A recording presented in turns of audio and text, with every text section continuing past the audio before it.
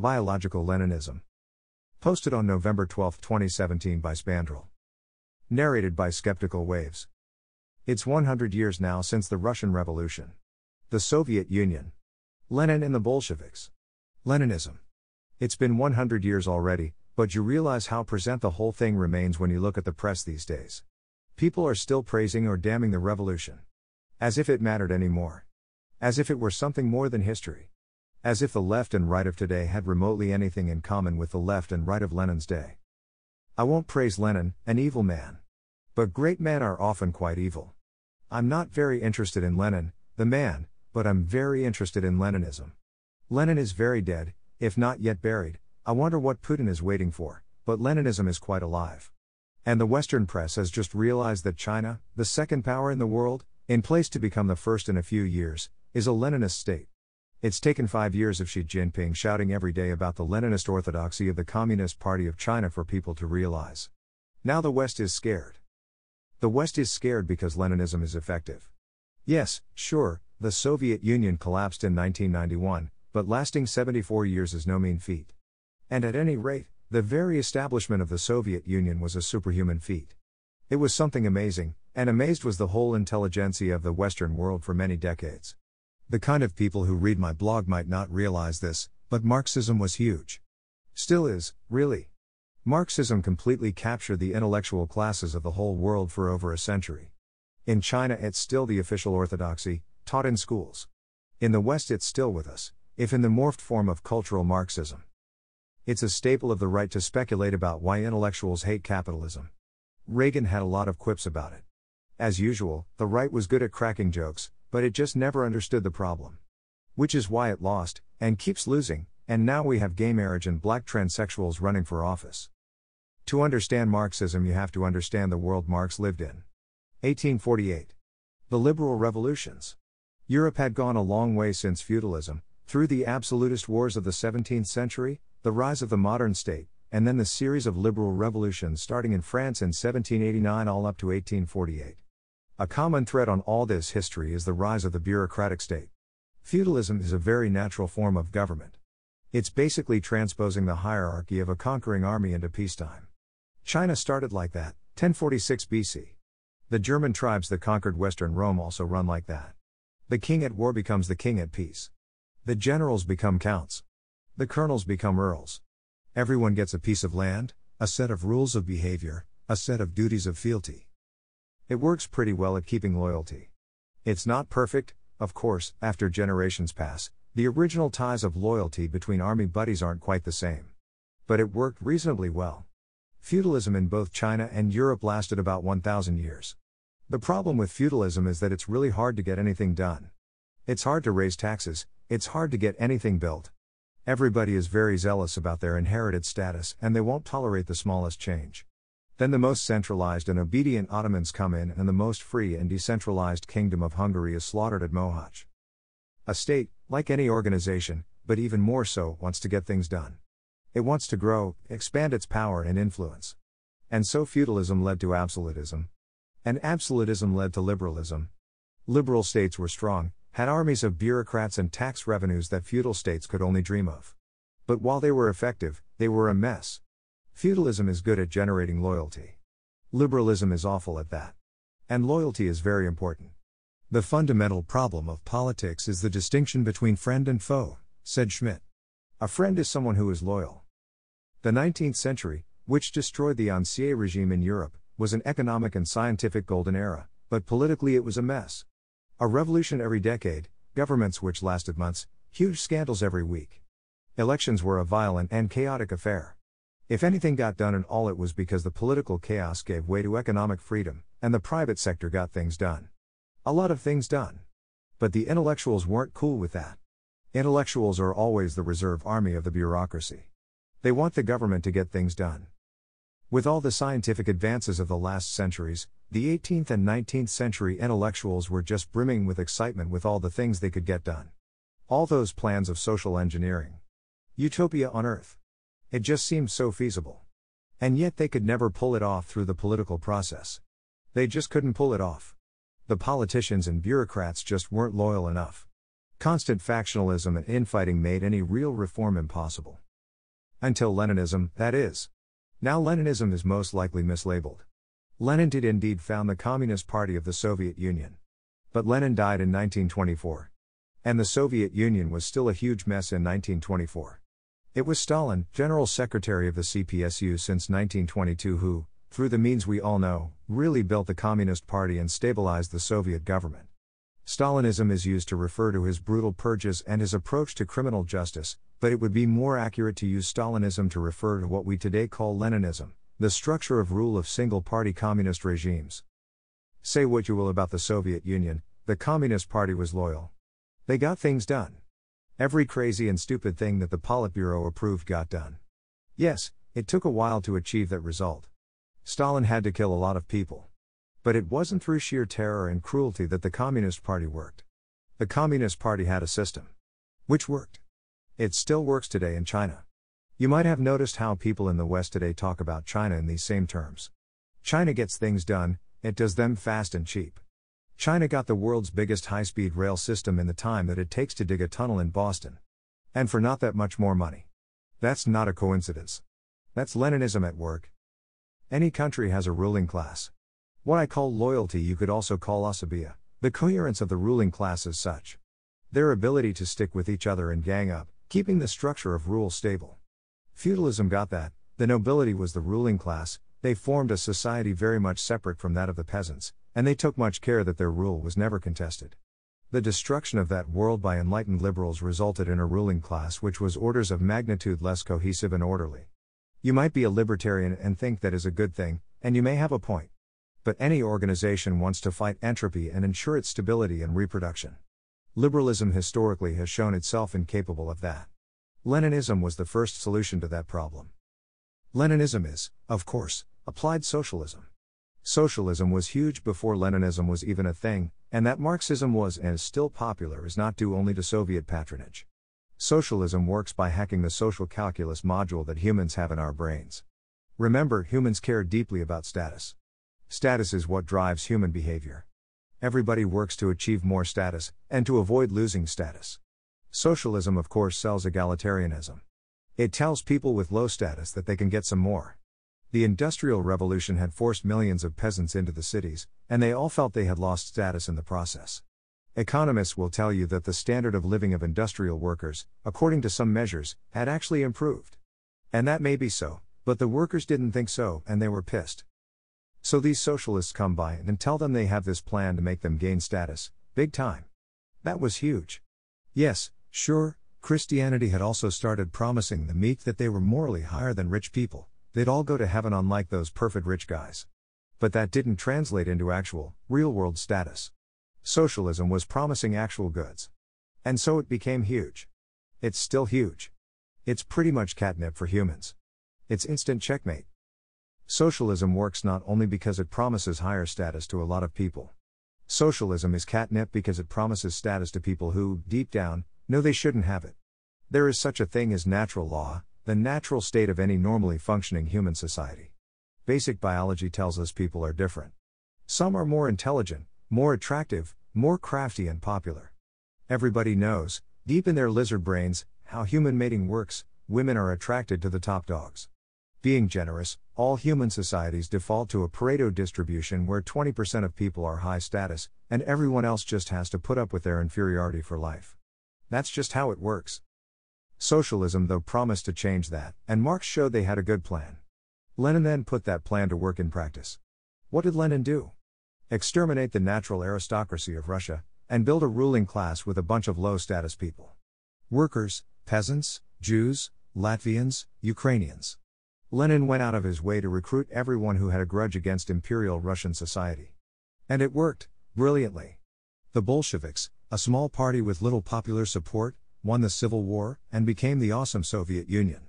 The early Soviet Union promoted minorities, women, sexual deviants, atheists, cultists, and every kind of weirdo. Everybody but intelligent, conservative Russians of good families.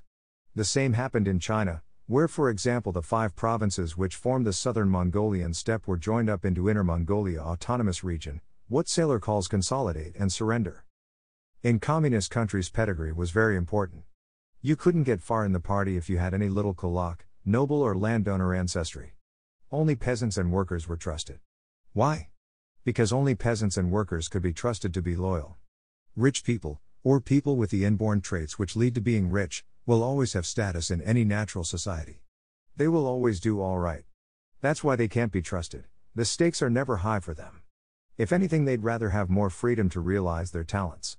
People of peasant stock, though, they came from the dregs of society. They know very well that all they have was given to them by the party. And so they will be loyal to the death, because they know it, if the communist regime falls, their status will fall as fast as a hammer in a well. And the same goes for everyone else, especially those ethnic minorities. Ethnics were tricky though, because they always had a gambit which could increase their status even further independence. Which is why both Russia and China, soon after consolidating the regime, started to crack down on ethnics. Stalin famously purged Jews from the Politburo, used World War II to restore most of the Tsar's territory, and run such a Russia centered state that to this day people in Kyrgyzstan speak Russian. The same in China, a little known fact of the Cultural Revolution was the huge, bloody purge in Mongolia and the destruction of many temples in Tibet. After that was done with, the Communist Party became this strong, stable, and smooth machine. The Soviet economy, of course, worked like shit, and that eventually resulted in the collapse of the system. But as China has shown, Central planning is orthogonal to Leninist politics. China, of course, had to know. It had been running a centralized bureaucracy for thousands of years. Leninism was just completing the system. So again, the genius of Leninism was in building a ruling class from scratch and making it cohesive by explicitly choosing people from low status groups, ensuring they would be loyal to the party given they had much to lose. It worked so well it was the marvel of the intellectual classes of the whole world for a hundred years. Meanwhile, what was the West doing? The West, that die-hard enemy of worldwide communism, led by the United States. What has been the American response to Leninism? Look around you. Read Vox. Put on TV. Okay, that's enough. Who is high status in the West today? Women. Homosexuals. Transsexuals. Muslims. Blacks. There's even movements propping up disabled and fat people. What progressivism is running is hyper Leninism. Biological Leninism. When communism took over Russia and China, those were still very poor, semi traditional societies. Plenty of semi starved peasants around. So you could run a Leninist party just on class resentments. Never forget class struggle, Mao liked to say. Never forget you used to be a serf and you're not one now thanks to me, he meant. In the West, though, by 1945, when peace and order was enforced by the United States, the economy had improved to the point where class struggle just didn't work as a generator of loyalty. Life was good, the proletariat could all afford a car and even vacations. Traditional society was dead, the old status ladders based on family pedigree and land based wealth were also dead. The West in 1960 was a wealthy, industrial meritocratic society, where status was based on one's talent, productivity, and natural ability to schmooze oneself into the ruling class. Of course, liberal politics kept being a mess. No cohesion in a ruling class which has no good incentive to stick to each other. But of course, the incentive is still out there.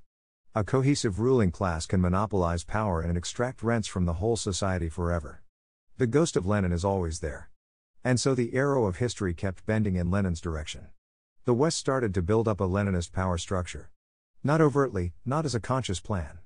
It just worked that way because the incentives were out there for everyone to see, and so slowly we got it. Biological Leninism. That's the nature of the cathedral. If you live in a free society, and your status is determined by your natural performance, then it follows that to build a cohesive Leninist ruling class, you need to recruit those who have natural low status. In any society, men have higher performance than women. They are stronger, they work harder, they have a higher variance, which means a fatter right tail in all traits, more geniuses, and they have the incentive to perform what the natural mating market provides. That's the patriarchy for you. Now, I don't want to overstress the biology part here. It's not the fact that all men are better workers than women. In a patriarchy, there's plenty of unearned status for men. But that's how it works the core of society is the natural performance of men, those men will naturally build a society which benefits them as men. Some men freeride on that, some women get a bad deal. Lots of structural inertia there. But the core is real. To get to the point, in 1960 we had a white men patriarchy. That was perfectly natural. Every society with a substantial proportion of white men will end up being ruled by a cabal of white men. Much of it's biology, part of it is also social capital, good cultural practices accumulated since the 15th century. White men just run stuff better. They are natural high status. But again, nature makes for messy politics. There is no social value on acknowledging truth, everybody can see that. The signaling value is in lies. In the unnatural. As Moldbug put it. Or as the Chinese put it, point deer, make horse. The point again is that you can't run a tight, cohesive ruling class with white men. They don't need to be loyal. They'll do okay anyway. A much easier way to run an obedient, loyal party is to recruit everyone else women, blacks, gays, Muslims, transsexuals, pedophiles. Those people may be very high performers individually, but in a natural society ruled by its core of high performers, i.e., a white patriarchy, they wouldn't have very high status. So if you promise them high status for being loyal to you, you bet they're going to join your team. They have much to gain, little to lose. The coalition of the fringes, Sailer calls it. It's worse than that, really. It's the coalition of everyone who would lose status the better society were run. It's the coalition of the bad. Literal kakistocracy. There's a reason why there's so many evil fat women in government. Where else would they be if government didn't want them? They have nothing going on for them, except their membership in the Democratic Party machine. The party gives them all they have, the same way the Communist Party had given everything to that average peasant kid who became a middling bureaucrat in Moscow. And don't even get me started with hostile Muslims or transsexuals. Those people used to be expelled or taken into asylums, pre 1960. Which is why American progressivism likes them so much. The little these people have depends completely on the left's patronage. There's a devil's bargain there, the more naturally repulsive someone else, the more valuable it is as a party member, as its loyalty will be all the stronger. This is, of course, what's behind Larry Auster's first law of minority relations the worse a group behaves, the more the left likes it. This is also why the left today is the same left that was into Soviet communism back in the day. What they approve of today would scandalize any 1920s leftist. Even 1950s leftist. But it's all the same thing, following the same incentives how to build a cohesive ruling class to monopolize state power. It used to be class struggle. Now it's gender struggle and ethnic struggle. Ethnic struggle works in America because immigrants have no territorial power base, unlike in Russia or China. So the old game of giving status to low status minorities works better than ever. It works even better, unlike Lenin's Russia, America has now access to every single minority on earth. Which is why the American left is busy importing as many Somalis as they can. The lowest performing minority on earth. Just perfect. If you think it can't get worse than transsexuals or pedophiles, you're really not understanding how this works. Look at this neat article a black woman, ex con, convicted of murdering her own four year old son. She served 20 years in prison, which she spent studying sociology or something. After leaving prison, she applied to study a PhD at Harvard, which rejected her. Progressives were up in arms. How could you? Go to the link and look at that woman. Look at that face. She never expressed any remorse over killing her children. She lied about it in the PhD application. She disposed of the body and never told the cops where her son's corpse is. This is utter and complete psycho. Nobody in their right mind would want anything to do with this woman. But that's precisely the point. In most human societies before 1900, she would have been killed, legally or extralegally. But precisely this kind of person, someone who should in all justice be the lowest status person on earth, that's exactly the people that the left wants on its team. You can count on her extreme loyalty to any progressive idea that the party transmits to her. And so, yes, of course, she finally got her PhD at New York University. And unlike 97% of PhD students out there, you can bet on her getting a full tenured professorship very soon. Yes, it's all madness, but it works. It really works like a charm. The richest parts of America, California, and New York, are now a one party state. America has legislation which forces every private enterprise of size to have a proportion of women, of black people, and sexual deviants, who of course know they don't belong there, and thus are extremely faithful political commissars. More faithful than the actual official political commissars that Communist China has also in their private companies. And biological Leninism is extremely powerful overseas too. The same way that Soviet communism all had natural fifth columns across the world, with industrial workers forming parties and all doing Moscow's bidding across the West, American biological Leninism is also an extremely strong means of agitation all over the world. The United States has been the only superpower on Earth since 1991. But that's changing of late, with China's growth into almost economic parity with the US, and Russia growing a pair, plenty of countries are now not following USG's line. Southeast Asia is now pretty much China's backyard. So now the United States is running an agitation campaign all over the world trying to undermine Chinese and Russian influence. As I'm most familiar with China, it's very obvious what the USG line is appealing to women and homosexuals to become their fifth column. And it's working. Every single article you see out there by a Chinese writing about how China should be more progressive, i.e., more American, is written by either a woman or a homosexual. I read this article a while ago, which is infuriating. It's about a particle accelerator that China is building. A Chinese American writer interviews the head scientist there, and all she does is undermine his project, saying how communist censorship means the whole project is tainted. The guy doesn't get it. Why are you doing this to me? Aren't you a fellow Chinese?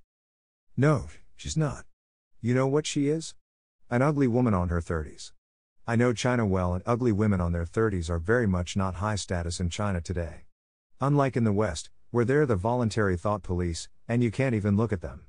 So, of course, any Chinese, or Russian, or Saudi, or Indonesian ugly woman in her 30s is, to the extent that she's given access to US propaganda, going to become a fifth column against her country's independence.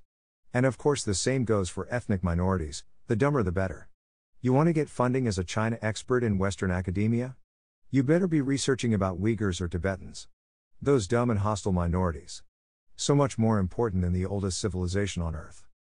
The question, of course, is how biological Leninism is going to evolve. Both Soviet and Chinese Leninism changed a lot during their tenure. Stalin purged the party very hard, and after some decades, when all the memories of the pre Soviet era were gone, and their power was secure, the CPSU started promoting high performing, by the requirements of a political party, not a rocket science department, that is, Russian males. Which didn't care much when the whole Soviet state collapsed. I guess they're doing quite okay right now. Same in China, today the CPC is by no means a peasants and workers' party. It's a best guy of the class party.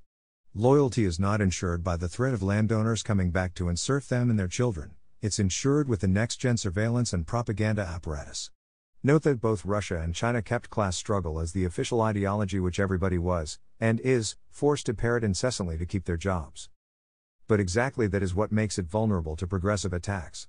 I just blogged about how women and minorities have even less power than before in China. Let alone sexual deviance. No gay politicians in China. That alone makes a huge constituency, hundreds of millions strong, of people in China that would prefer a progressive government. That's the people who America is now addressing, unlike the previous strategy of selling democracy and its free economy to the Chinese middle class.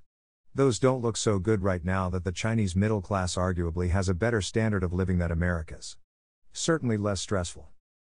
Let's assume, hope, that America's coalition of the fringes doesn't succeed in destabilizing foreign countries. How is it going to evolve though?